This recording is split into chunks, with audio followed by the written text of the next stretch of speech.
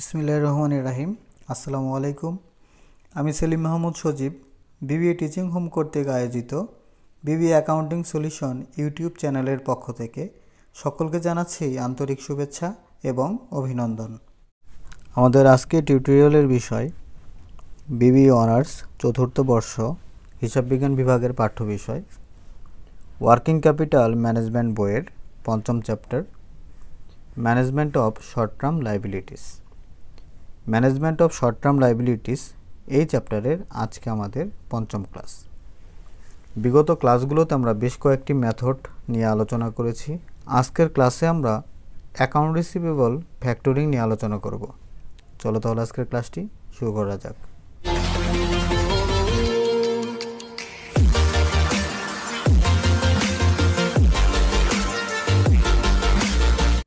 প্রিয় শিক্ষার্থী বন্ধুরা তোমরা স্ক্রিনে একটি কোশ্চেন দেখতে পাচ্ছ। আমরা শুরুতেই কোশ্চেনটি ভালো করে পড়ে এবং বুঝে নেব। A factor agreed to buy Rupanti cosmetics account receivable of টাকা টু লাখ পার মান্থ একজন ফ্যাক্টর সম্মতি গ্রহণ করছে রূপন্তী কসমেটিক্সের দেনাদারকে পারচেস বা ক্রয় করবে, যেখানে প্রতি মাসে অ্যাকাউন্ট রিসিভেবল হচ্ছে দুই লক্ষ টাকা। Which have an average collection period of sixty days. বাকিতে বিক্রয়ের কালেকশন পিরিয়ড হচ্ছে ষাট দিন, অর্থাৎ দুই মাস পর পর, তাহলে বছরে টোটাল ছয়বার the factor will advance up to eighty percent of the face value of the receivable at fifteen percent interest per annum. ফ্যাক্টরের কথা বলছে যে will advance up. Advance up করবে এইটটি পারসেন্ট। এখান থেকে আমাদের বুঝে নিতে হবে বাকি যে বিশ পার্সেন্ট থাকবে ওইটা হচ্ছে রিজার্ভ। যদি কোনো অঙ্কে advance up seventy five percent দেওয়া থাকে, তখন বুঝতে হবে বাকি টোয়েন্টি ফাইভ পার্সেন্ট হচ্ছে রিজার্ভ। এছাড়াও দেনাদারের ওপরে বছরে ইন্টারেস্ট ধরতে বলছে পনেরো percent. The factor will also charge interest ছাড়াও আরও চার্জ করতে হবে two percent commission on all receivable purchase সম্পূর্ণ দেনাদারের উপরে দুই পার্সেন্ট কমিশন ধার্য করতে হবে। Factoring would save company's monthly bad debts losses টাকা পনেরোশো অ্যান্ড অ্যাডমিনিস্ট্রেটিভ এক্সপেন্স টাকা দুই হাজার। প্রশ্ন বলছে যে কোম্পানি এই ফ্যাক্টরিং মেথডের মাধ্যমে প্রতি মাসে অনাদেই পাওনার হাত থেকে লসকে রক্ষা করবে বা সেভ করবে পনেরোশো টাকা এবং প্রশাসনিক ব্যয় দুই হাজার টাকা করে প্রতি মাসে সেভ করবে এই ফ্যাক্টরিং পদ্ধতির মাধ্যমে। এই হচ্ছে আমাদের ডাটা বা কোর্শন প্রায় প্রত্যেকটা অঙ্কেই কিন্তু ডাটাগুলো এইভাবে দেওয়া থাকবে। শুধুমাত্র অ্যাকাউন্ট রিসিভেবল যেটা দুই লাখ টাকা পার মান্থ দেওয়া আছে, এটা অনেক সময় অ্যানাওয়ালি দেওয়া থাকে।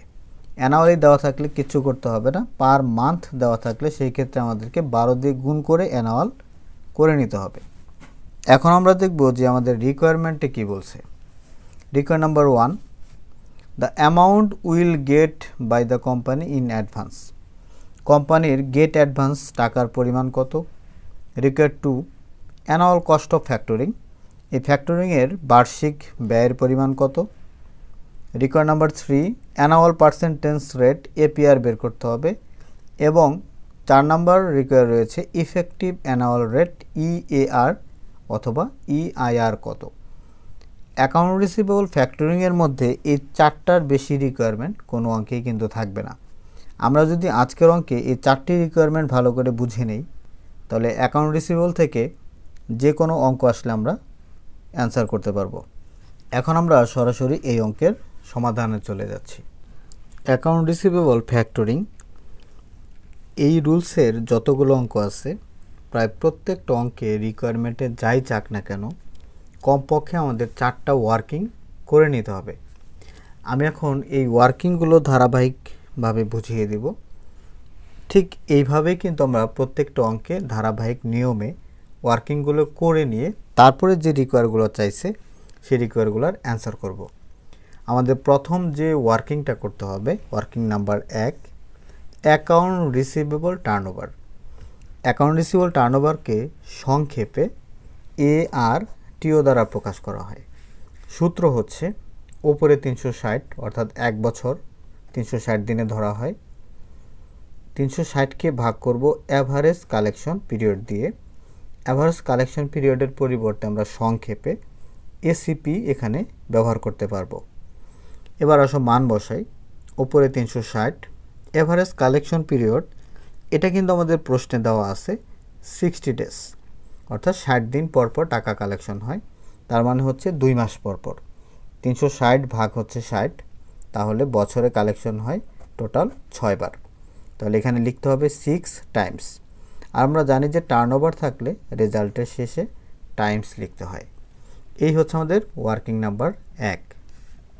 Working two average account receivable গড় দেনাদার বের করতে হবে। সূত্র হচ্ছে অ্যানুয়াল ক্রেডিট সেলস ভাগ এআরটিও অ্যানুয়াল ক্রেডিট সেলস যদি প্রশ্নে সরাসরি দেওয়া থাকে, সেক্ষেত্রে আমরা সরাসরি এখানে লিখে দেব। কিন্তু আজকের অঙ্কে বলছে প্রতি মাসে অ্যাকাউন্ট রিসিভেবল হচ্ছে দুই লক্ষ টাকা। তাহলে দুই লাখ টাকাকে আমরা যেহেতু মাসে দেওয়া আছে, অ্যানুয়াল করে নিব।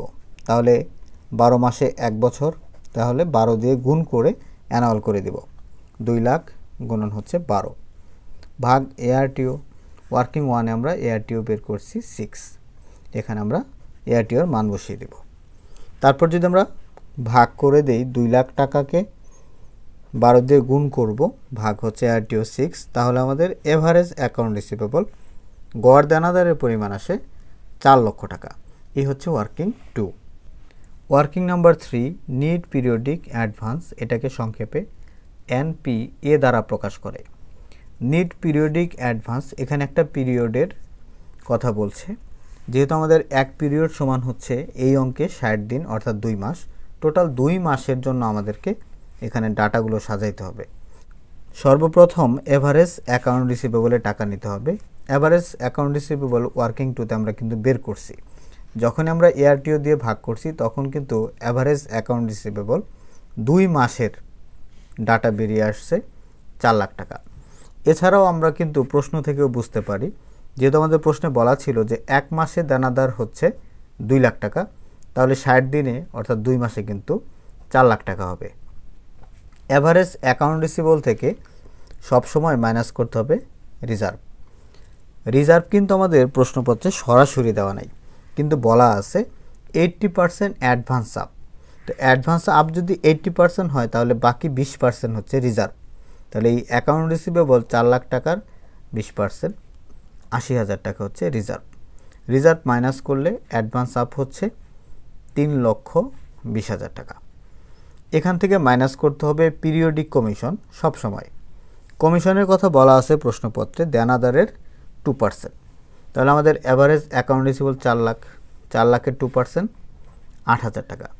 কমিশন মাইনাস করলে অ্যামাউন্ট আসে তিন লাখ বারো হাজার। এই সর্বশেষ যে অ্যামাউন্ট আসছে তিন লাখ বারো হাজার, এটার উপর ধরতে হবে আমাদের ইন্টারেস্ট তাহলে আমরা লিখব লেস ইন্টারেস্ট ইন্টারেস্ট হচ্ছে বছরে পনেরো পার্সেন্ট কিন্তু আমরা অঙ্ক সাজাইছি দুই মাসে। তাহলে তিন লক্ষ বারো হাজারের পনেরো পার্সেন্ট করলে এক বছরের সুদ হবে। আমার লাগবে দুই মাসের সুদ। ভাগ বারো গুণন দুই দিলেও কিন্তু সাত হাজার আটশো চলে আসবে। কিন্তু আমরা কি করব? সবসময় এআরটিও দিয়ে ভাগ করব। তাহলে সুদের হার পার্সেন্ট করার পর এআরটিও দিয়ে ভাগ করব। যখন যে অঙ্কে আমাদের এআরটিওর পরিমাণ যত থাকবে। এখানে তিন লক্ষ বারো হাজারকে পনেরো পার্সেন্ট করলে কিন্তু এক বছর মানে বারো মাসের সুদ পাওয়া যাবে। তো ছয় দিয়ে ভাগ করলে কিন্তু দুই মাসের সুদ পাওয়া যাবে। তাহলে ভাগ করলে রেজাল্ট আসে সাত হাজার আটশো টাকা। ইন্টারেস্ট মাইনাস করার পর যে রেজাল্ট আসছে, তিন লক্ষ চার হাজার দুশো টাকা। এটাই হচ্ছে নিট পিরিয়ডিক অ্যাডভান্স এনপিএ। এটা হচ্ছে আমাদের ওয়ার্কিং থ্রি। ওয়ার্কিং থ্রির পরে আমরা ওয়ার্কিং ফোরে চলে যাচ্ছি। Working number four, net periodic cost, সংক্ষেপে এটাকে বলে এনপিসি। তো এনপিসি, নিট পিরিয়ডিক কস্টের মধ্যে যত কস্ট আছে, এই পিরিয়ডিক কস্টগুলোকে এখানে নিয়ে আসতে হবে। তো ওয়ার্কিং থ্রিতে আমরা দুইটা পিরিয়ডিক কস্ট করছি, একটা হচ্ছে পিরিয়ডিক কমিশন আর একটা হচ্ছে পিরিয়ডিক ইন্টারেস্ট তো ওয়ার্কিং থ্রি থেকে এই অ্যামাউন্টগুলো আমরা নিয়ে আসব পিরিয়ডিক কমিশন আট হাজার এবং পিরিয়ডিক ইন্টারেস্ট ছিল সাত হাজার আটশো। দুটি যোগ করলে পনেরো হাজার আটশো এইটা হচ্ছে টোটাল কস্ট এখন এই টোটাল কস্ট থেকে এই ফ্যাক্টরিং পদ্ধতির মাধ্যমে কোম্পানি যে পরিমাণ অর্থ সেভ করে, ওইটা আবার আমাদের এখান থেকে মাইনাস করতে হবে এই কস্ট থেকে। কারণ এই টোটাল পনেরো হাজার আটশো টাকার মধ্যে থেকে কোম্পানি কিছু অর্থ সেভ করে। কীভাবে সেভ করে? ব্যাড ডেপস এবং অ্যাডমিনিস্ট্রেটিভ এক্সপেন্স থেকে। তাহলে আমরা লিখব less cost saving from factoring অথবা কস্ট সেভ ফ্রম ফ্যাক্টরিং এই ফ্যাক্টরিংয়ের মাধ্যমে কোম্পানি কীভাবে কস্টকে সেভ করে? তো প্রথম সেভ করে ব্যাড ডেপসের দ্বারা। প্রশ্নপত্র বলছে, প্রতি মাসে পনেরোশো টাকা ব্যাড ডেপস লসের হাত থেকে ফ্যাক্টরিংয়ের মাধ্যমে টাকা সেভ করে। তাহলে প্রতি মাসে যদি পনেরোশো হয়, আমার অঙ্ক হচ্ছে ষাট দিনের, দুই মাস। তাহলে দুই মাসে কিন্তু তিন হাজার। এমনিই বোঝা যায় যে তিন হাজার টাকা হবে। কিন্তু এটা আমরা ক্যালকুলেশন করে দেখাই দেব। তো মাসে পনেরোশো হলে বছরে কত? গুণন বারো। বারো দিয়ে গুণ করে বছর করব, এরপরে এআরটিও দিয়ে ভাগ করে দিব। তাহলে ছয় দিয়ে আবার যদি ভাগ করে দিই, তাহলে কিন্তু দুই মাসে তিন হাজার টাকা আসবে। সেম একইভাবে অ্যাডমিনিস্ট্রেটিভ এক্সপেন্স বলছে প্রতি মাসে দুই হাজার টাকা সেভ করে। তাহলে দুই হাজারকে আমরা বারো দিয়ে গুণ করলাম, তাহলে হয়ে যাবে চব্বিশ হাজার এক বছরে। তাহলে দুই মাসে কত?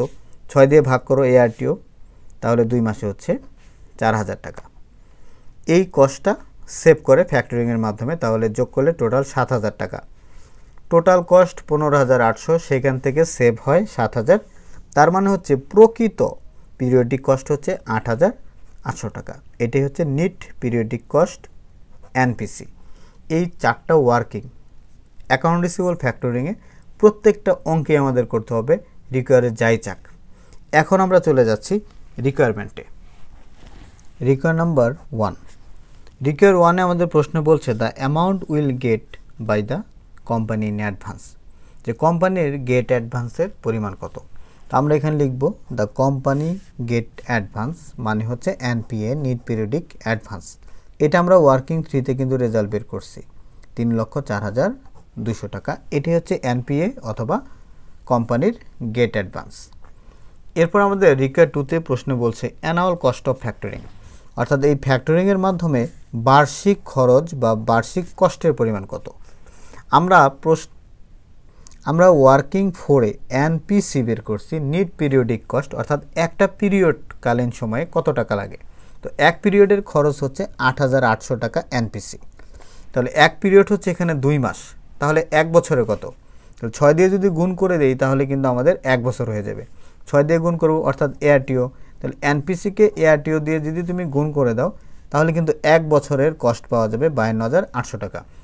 অথবা এক পিরিয়ডে আট হাজার আটশো টাকা তো আমাদের আজকের অঙ্কে এক পিরিয়ড বলতে বোঝাচ্ছে ষাট দিন, অর্থাৎ দুই মাস। এখানে দুই মাসের টাকা আছে। তাহলে বারো মাসে কত হবে?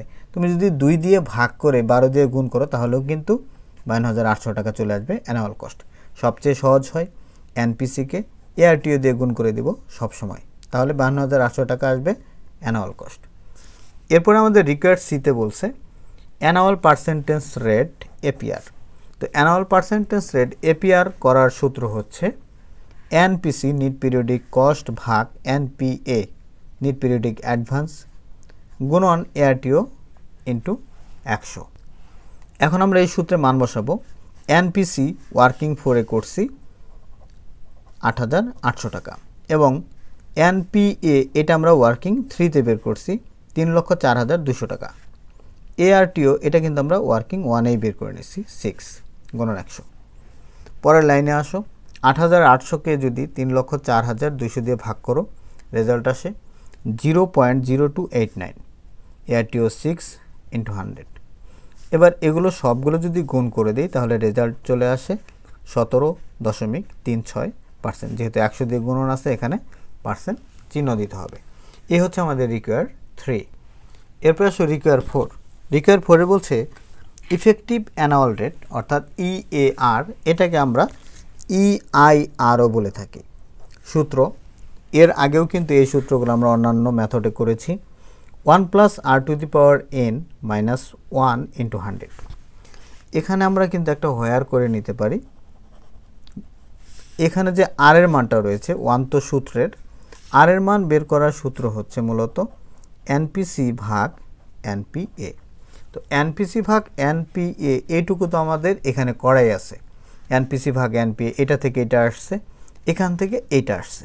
তাহলে এই মানটা কিন্তু আমরা আর এর পরিবর্তে এখানে বসাই দিতে পারি।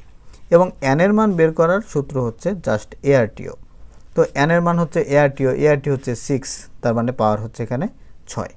মাইনাস ওয়ান তো সূত্রের গুণন একশো। এটুকু যদি আমরা ক্যালকুলেটরের সাহায্যে একবারে ক্যালকুলেশন করে দিই ওয়ানের সাথে এটা যোগ করব পাওয়ার করব সিক্স যে রেজাল্ট আসবে সেখান থেকে ওয়ান মাইনাস করব এবং তাকে একশো দিয়ে গুণ করে দেব। তাহলে দেখা যাবে এই রেজাল্টটা চলে আসবে আঠারো দশমিক ছয় চার। যেহেতু একশো দিয়ে গুণন আছে, তাহলে এখানে একটা পার্সেন্ট চিহ্ন দিয়ে দিতে হবে। এই হচ্ছে আমাদের অ্যাকাউন্ট রিসিভেবল ফ্যাক্টরিংয়ের অঙ্ক।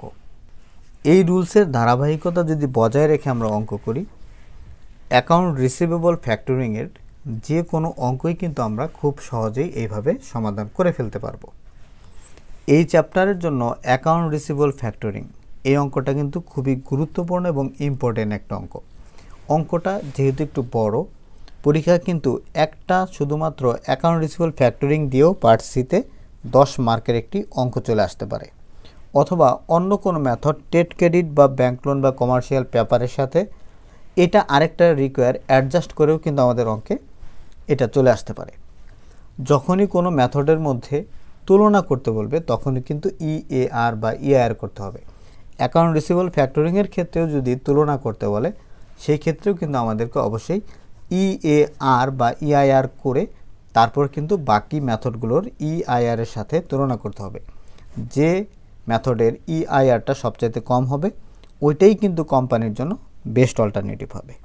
আশা করি অ্যাকাউন্ট রিসিভেবল ফ্যাক্টরিং এই অঙ্কগুলো নিয়ে তোমাদের আর কোনো সমস্যাই থাকবে না। পরবর্তী ক্লাসের আমন্ত্রণ জানিয়ে আজকের ক্লাস এখানে শেষ করছি। সবাই ভালো থাকো, সুস্থ থাকো। আল্লাহ হাফেজ।